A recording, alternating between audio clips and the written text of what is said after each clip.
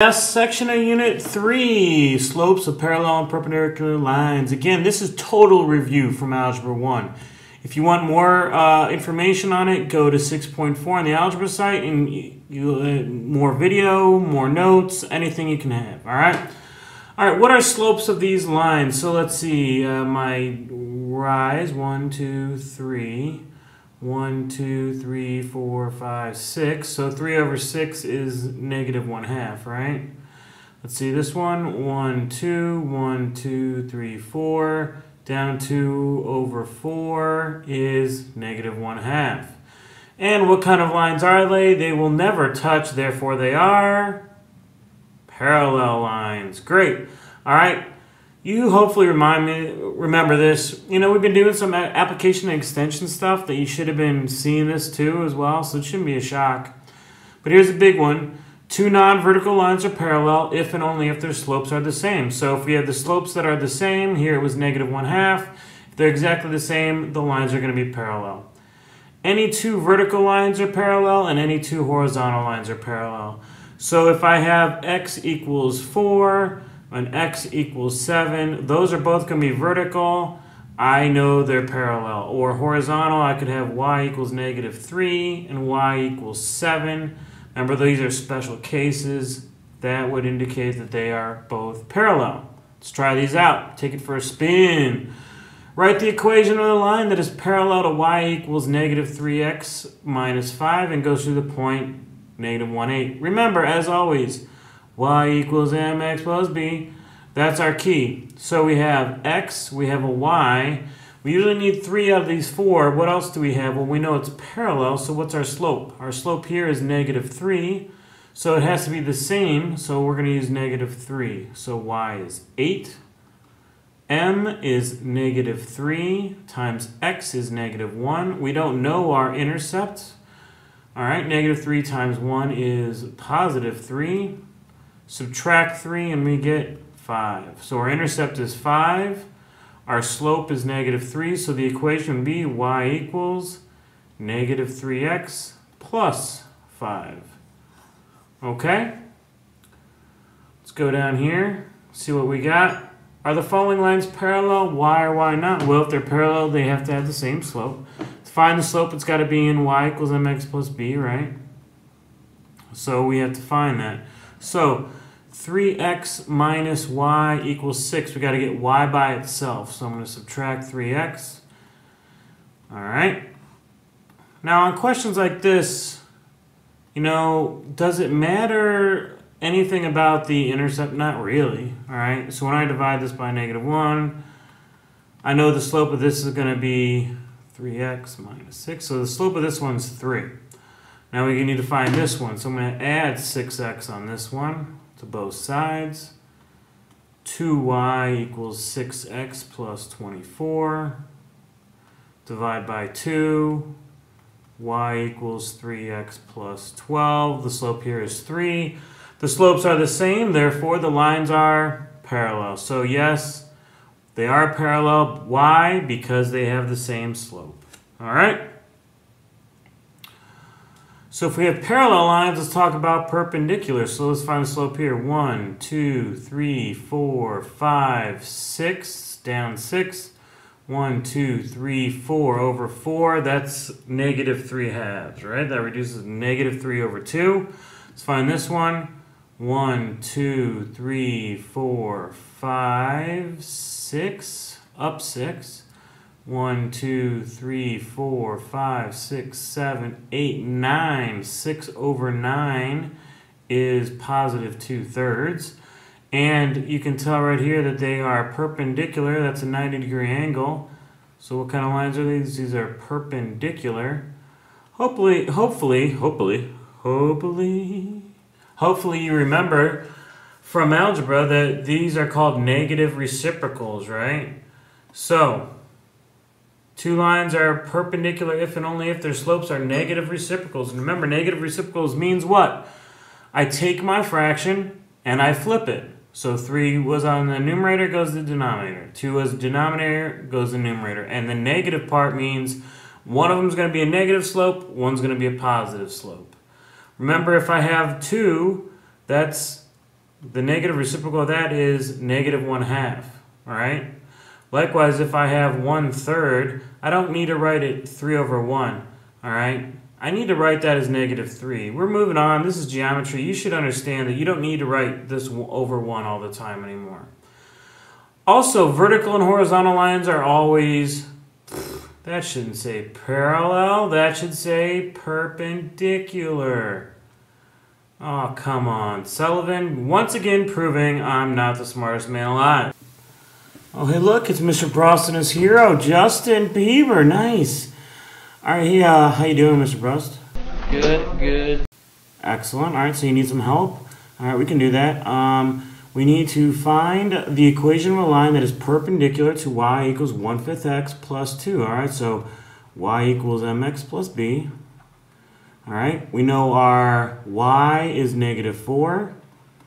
Our m is 1 fifth. We need to flip it and take the negative, so that's negative 5 times our x is 15 plus b. Multiply out here. Negative 5 times 15 is negative 75 plus b. Add 75 to both sides. b equals 71. So our equation, y equals, remember we're going to use this new slope, negative 5x plus 71. Perfect. Mr. Prost, uh, do you think that helped you out? You're good to go, man. I'm glad we could help, man. Hey, you guys, you don't understand. Mr. Prost knows everybody. One day I went over to his house, like last summer. We are having a barbecue. I walk in, there's Jeff Probst from Survivor. You know, the guy who hosts Survivor? There he is just on his couch. Go ahead, kids in Ramsden, go ahead and ask him about it. It's crazy. He went to college with them, same fraternity. Unreal. All right, so let's try this one. Are the following equations perpendicular? Why or why not? So we know the slope of this one is 4. We don't know the slope down here. We need to subtract 8x. So we have negative 2y equals negative 8x plus 10. Divide by negative 2. So we have y equals 4x minus 5. So we have 4 and 4 are our slopes. Are they perpendicular? No, they're not perpendicular because for us to be perpendicular, this would have to be 4 and negative 1 fourth. They're exactly the same. In fact, these lines would be what? Parallel, right? All right, remember when the lines have the same slope, they are parallel. All right, a little bit tougher. When a parallelogram is a quadrilateral that has opposite sides that are parallel. Is quadrilateral ABCD a parallelogram? All right, well, the first thing I would do on this is just kind of sketch it out. All right, so I have A here, and that's 1, 1. B is a little over, a little up. That's 5, 3. Now, does it matter really if my lines are, are exact or not? Absolutely not. Okay? it doesn't matter at all. So that's C, and then D is 3, 0. So that's going to be like here. All that matters is that I have these points, because now I have to find the slope of this, I need to find the slope of this, the slope of this, and the slope of that, right? So it's easy to find slope. We do y2 over y1. So let's do BA here. 3 minus 1 over 5 minus 1. So the slope from A to B is 2 over 4, which is the same as 1 half. All right? So AB, our slope is going to be 1 half. How about from B to C? All right, 1 minus 3. I'm going to put it over here. B to C. 1 minus 3 is negative 2. And then 7 minus 5 is 2, so that's going to be negative 1. So that slope here is negative 1. Now, does it matter that they're not, uh, they're definitely not perpendicular, are they? No. But um, it doesn't matter that they're not related at all because they're adjacent sides. And this says opposite sides. So let's see here. Here's an opposite side. So if this is a parallelogram, this should be 1 half, right? All right, let's see. Uh, 1 minus 0 is 1. 7 minus 3 is 4. Well, 1 minus 0, uh, that's 1 fourth. Right? 1 fourth is not what we wanted. All right, and since one fourth and one half are not the same, is this a parallelogram? Absolutely not. All right, for giggles, let's go in for the last one. 0 minus 1 is negative 1. 3 minus, that's 2. Negative 1 half, and those aren't the same either. All right, so is it a parallelogram? No. If it were a parallelogram, this side and this side would have to have the same slope. And this side and this side would have to have the same slope. All right? All right, why don't you pause the video and try these out. Welcome back. I'm hoping you're really, you know, pausing the video and doing it right. I know, you know, there's shortcuts for everything in life. But guess what? If you don't learn this stuff, you're just going to have to do the mastery check over, and it's a pain in the butt. You shouldn't get in the habit of just retaking mastery checks. To me, that's a bad deal. All right, that is just pure laziness. You can learn this stuff the first time. I'm confident of that.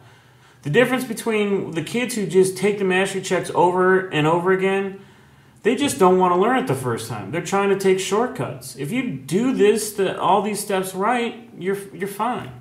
All right, get off my soapbox. Here we go.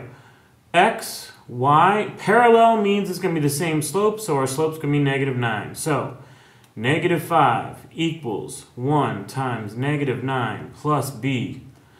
Negative 5 equals negative 9 plus b. Add 9, I get 4 equals b. So my slope is negative 9, so y equals negative 9x plus 4.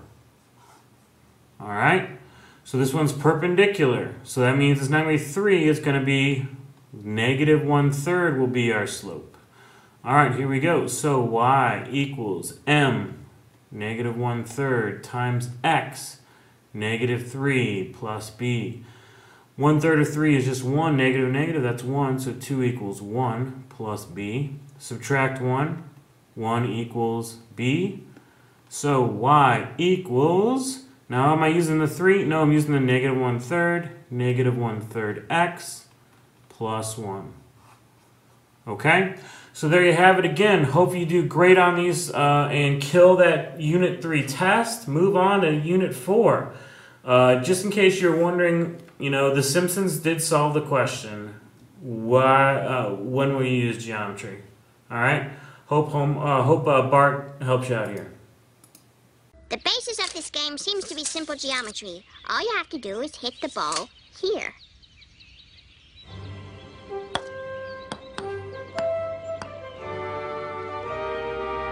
I can't believe it. You've actually found a practical use for geometry.